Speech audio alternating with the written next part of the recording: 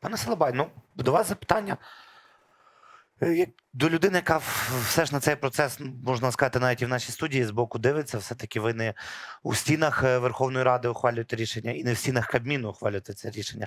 Але тим не менше, от я мені здається, що тут всі погоджуються, е, що сама суть цієї розмови і те, що ця розмова на другий е, рік повномасштабного вторгнення виникає ця дискусія, особливо після того, коли е, українські збройні сили змусили захоплюватися собою весь світ. А ми дискутуємо, е, чи, чи достатньо, чи, чи, чи може українська держава їм виплачувати ті виплати, які вона виплачувала. Як ви на цю ситуацію дивитеся? Ну, я насправді вам скажу е, не свою суб'єктивну думку. Я спілкуюсь, е, в мене багато друзів на фронті, колег, е, і я багато з ким спілкуюсь безпосередньо, коли вони на ротації, коли вони і там, тому що ми і забезпечуємо їх, і допомагаємо. І ну, частина хлопців, е, їх це цікавить найменше, ця політика. Ну, вони так собі, знаєте, галочку поставили. е, Один, один пишем, два в умі. Е, Повернемось, будемо будем просто задавати питання. Абсолютно конструктивні питання, да, без жодного там пафосу. Інші хлопці, які там менш матеріально забезпечені, їх іноді просто це, цей от деструктив всередині викликає там негативні емоції. Вони задають собі питання: ну, типу, чи реально воно релевантно? Та? Тому що моє життя я кожної миті можу загинути. Все залежить від бойового розпорядження, там ноль, мінус. Є операції, які проводяться і там. Ну, зрештою, хлопці просто задають собі тими питаннями, якими вони не мали би задаватись е, на другий рік війни. Да, це демотивує десь, але хлопці стійко це переживають. Я вам просто скажу, як людина, яка е, останніх півроку мала відношення до е, бюджетної установи. Взагалі, поводження кабінету міністрів в частині, е, наприклад, визначення територій, де ведуться е, бойові дії, наприклад, як Херсон, воно безпосередньо впливає на можливість е, проведення тих чи інших закупівель напряму. Що це означає? Це означає, коли місто не має абсолютно нічого, йому потрібно оперативно реагувати на ті чи інші виклики, то ти зобов'язаний дотримуватись е, процесуальної бюджетної процедури, яка в даному е, місці на даному етапі абсолютно є невиправданою. Вона тільки сковує твої дії. І я можу вам сказати, що просто якщо ми говоримо паралелями, да, оце от рішення Кабінету міністрів стосовно тих доплат, воно десь корелюється з іншими рішеннями Кабміну, які абсолютно не виправдані там в поточну дату. І найменше, чого би хотілося, це те, аби ну, все, все оце, от, що відбувається і в парламенті, і в органах виконавчої влади, воно вносило ну, надзвичайно руйнівний вплив і деструктив на суспільство, в тому числі. Тому що коли ми знаємо інформацію зсередини, ми по-іншому її сприймаємо. Коли ми інформацію черпаємо з соцмереж, де відбувається в тому чи- числі і ПСО. Ворожі, да, дуже багато розганяється і фейкової інформації. Є люди, які дуже на це все рефлексують швидко, е, болісно і передають це на своїх родичів, які в тому числі е, ну, хлопці, яких воюють. Це все негативно впливає на військових, тому що це для них зворотній зв'язок. Але хлопці стійко це переживають. Да, їм неприємно в якійсь мірі, але в будь-якому випадку це все питання. Воно має відкладальний характер, і питання будуть задаватись однозначно, коли люди прийдуть. І е, це знаєте, от як 2014 року ми зрозуміли, що ми можемо як е, суспільство впливати на владу, бо ми і є влада. Так само це буде ну вже трошки тюнінгованіший етап, коли прийдуть вже хлопці, ті, які прекрасно розуміють ціну цієї держави і державотворення як процесу. І ну, це, типу, якби відсилка до того, що політика буде надзвичайно контрольована, а велика частина цієї політики і буде формуватись саме цими людьми. І це велика надія. Я сподіваюся, що це так і буде.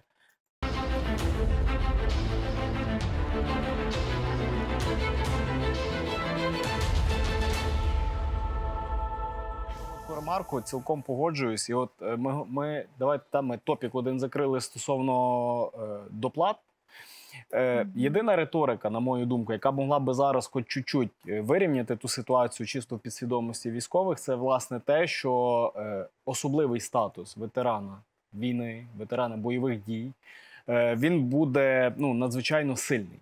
Да? І коли ми говоримо про окреме вікно в ЦНАПі, це має бути абсолютно. Це має бути навіть окремий пас на митниці. Чесно вам скажу. Тобто Так. люди повинні розуміти, що їх поважають, і в такий спосіб ми будемо, як цивільні люди, або ті, які не були дотичні до війни, як військові, будуть розуміти, що в тому і проявляється їхня вдячність, навіть якщо вони зараз не дякують і не підходять, не тиснуть руку.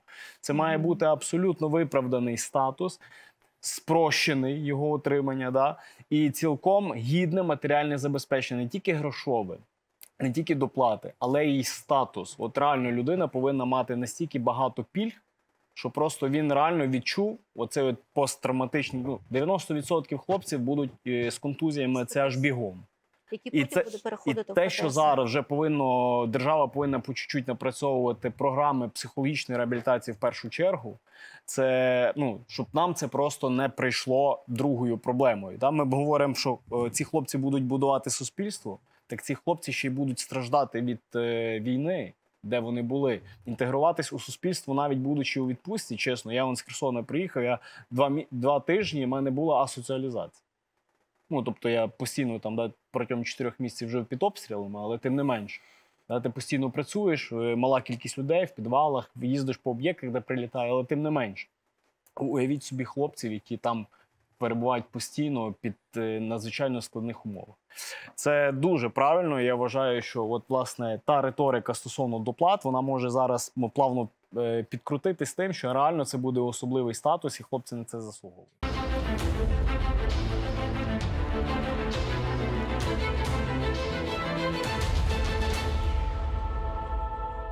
Пан Салабай, ви якраз е, працювали заступником Херсонської адміністрації військової протягом часу якогось. Повернулися, а самі вирішили пі- піти вже з цієї посади. Чому? Чому от повернулися до Львова? Я повернувся, тому що трошки змінилась там політично адміністративно, називаємо то так, ситуація. Е, Мгм. Керівництво, ну ті люди, з якими я не говорив про вирішення тих чи інших е, пунктів, які потрібно вирішувати, проблематика тощо. І в принципі я вирішив, що на даному етапі доцільно буде ну, передати напрацювання людям, які зможуть взяти відповідальність на себе, скажімо так. А яка ваша думка загалом? Як це має виглядати? Туди мають Кадровий приїхати працювати хтось Абсолютно, звідси абсолютно. чи є? Абсолютно так і є. Моя думка це те, що має бути категорія е, тих чи інших громадян місцевих. Кадрових фахових людей, які дотичні до всіх внутрішніх процесів, які знають кон'юнктуру, які Мгм. реально е, розуміють свій функціонал.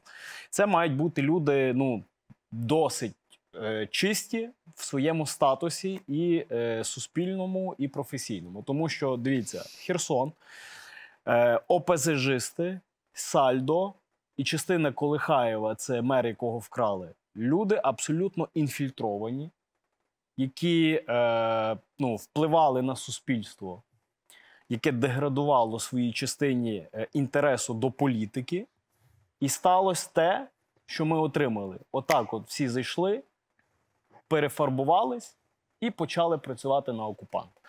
В даному контексті можу сказати про ті проблеми, коли я приїхав в Херсон. Це кадровий голод, фахових людей нема. Люди не хочуть приїжджати під обстріли працювати. Є люди, які абсолютно втратили довіру. Ті, е, які дуже втратили довіру, проходять е, перевірку в Служби безпеки. І є е, проблематика у тому, що нема довіри до тих людей, які ще залишились. Ну, в якійсь тій чи іншій мірі. Оце є велика проблема. Кадровий голод це буде те, що е, буде номер один на деокупованих територіях. Ви ще врахуйте про те, що велика кількість тих людей, які там залишаться, а такі точно будуть, так як, наприклад, в Херсоні на правому березі, не всі встигли втікти. То залишиться частина людей, до яких будуть дуже багато питань, і які будуть, от, власне, тою частиною інфільтрату, який залишився. Це отой от русський мір, здесь Русью то це от та от ця історія залишиться. Насправді це питання в горизонті там, ну, як мінімум, три роки, щоб абсолютно очистити е, там це все. Плюс е, ви зрозумієте, що та частина, от я був і в Запоріжжі певний період, в Дніпрі. і в, е, за під час війни, і дуже тривалий період в Херсоні. Ну, дивіться, на мою думку, е, Запоріжжя і Херсон з тих міст трьох. Ну, таке враження, ніби вони стояли на паузі весь той час. Да? Тобто, таке враження, що їхнє керівництво десь чогось чекало. Ще до війни Ще до війни. От місто Херсон, щоб ви розуміли, просто на контрасті. Це при всій повазі до е, тих людей, які там живуть. Це прекрасні люди, це прекрасний регіон, порти, річка, великі аграрні території. Ну, це надзвичайно багатий регіон.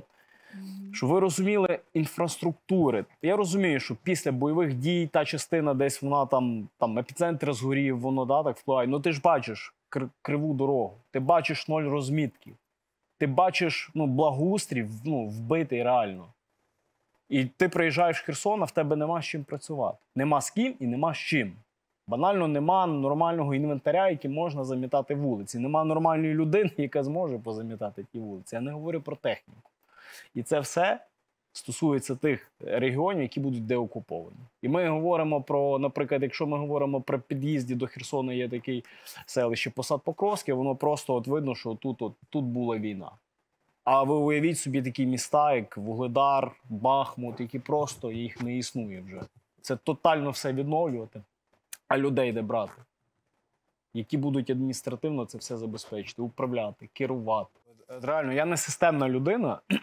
Я попав в бюджетну е, установу, де треба керуватись е, відповідними правилами. Да? І там, бюджет знати, розуміти його і тому подібне. Щоб ви розуміли, комунальне підприємство, я говорю про одне. А їх там, ну, для прикладу, там близько 40. Збиткове. Ти задаєш питання: а чому воно збиткове? І люди не можуть пояснити, чому воно збиткове. От е, я з паном Юрієм погоджуюсь. Треба інтегрувати бізнес в державні структури людей, які вмі, вміють мислити не, не, не е, структурно, так як от державний чиновник, да? прийти на роботу, десь там зробити якийсь звіт, послухати, що говорять люди, дати їм задачі, і, типу, як йди мити вулиці. Приїжджаєш дивитися, як вони метуть вулиці, ти говориш, що, що ви техкарти не можете зробити, як правильно мести при бордюрку, зелені насадження, тощо. Вони вон там солянку роблять, розумієте? От керувати, інтегруй людину з бізнесом комунальне підприємство. І він скаже: ми не будемо купляти там гроші, е, там бензин, тому що його треба зберігати. Давай ми тут зекономимо, візьмемо собі е, остаткування, де ми зможемо зберігати паливо, і будемо економити на тому. Да? Ми будемо економити на тому 3, 3 гривні. Чи це буде економічний ефект? Да, не отакий, але він поступово він покаже в прирості гроші, які ти зможеш використати. Люди там тим не мислять. Там сидять люди на відкатах, які віддають в Вони тендер. пережили окупацію Дивіться, і е, далі на відкатах. Ні, ну е, не те, що вони пережили окупацію, і тепер зараз от прям всі вертаються, так прямо от аж бігом. Просто дивіться, як я хочу, щоб ви правильно мене зрозуміли. Тобто, коли я кажу сальдо, да, то ми розуміємо, що людина 15 років при владі. Велика частина людей, які працювали при ньому, вони вже там директора комунальних підприємств, заступники свої, е, ті чи інші бізнес-структури обслуговують ці інтереси. Там велика кількість людей, які пов'язані з цими всіма потоками. І коли ми говоримо тендер, то виграє е, одна компанія, а подається три своїх, виграє одна, яка обслуговує бюджет. Да? Тобто люди не думають про те, щоб закупити щось, не думали тоді. А про те, що потрібно ці кошти освоювати. І це проблема, я переконаний, тільки Херсона. Ну, Та, тобто є багато ви- проблем.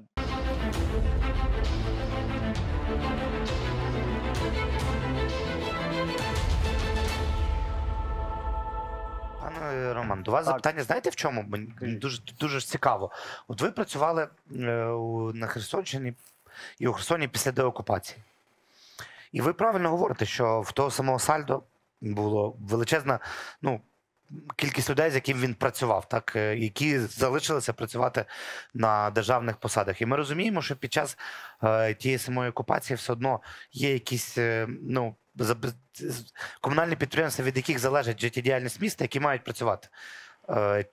Чи вам доводилось комунікувати з тими людьми, які, ну по суті, е, ту саму посаду, яку вони займали вже після деокупації, на тій чи іншій е, посаді, в тому самому ж комунальному підприємстві, так само і під час окупації займали цю посаду. Як це все відбувалося? Тому що ну це дуже цікаво. Ми про це дуже мало говоримо. Це можливо. Розмови вже у майбутньому, але ну насправді, от Е, як? Так, тут така історія, якою напевно варто було би ділитись е, в довгостроковій перспективі трохи довше, ніж у нас є часу, але тим не менше, дивіться, історія така, що е, є підприємства, які працювали до того моменту, коли функціонувала ще міська влада. Да? Тобто там вже десь приблизно з червня місяця влада повністю перестала бути українською. Да? Тобто, ще ну, уявіть собі, що міський голова є ще на посаді до червня.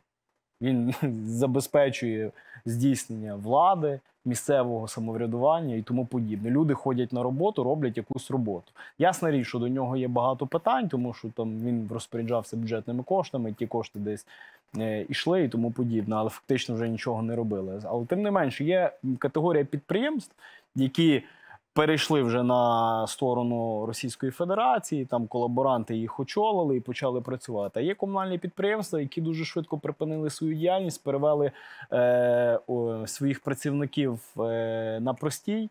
І просто виїхали з Херсона або тоді, коли вже була можливість виїхати з Херсона. Чи доводилось мені працювати з колаборантами? Ні. Чи доводилось, мені працювати з тими людьми, які були скажімо так, нами запідозрені в е, тому, що вони були колаборантами, так.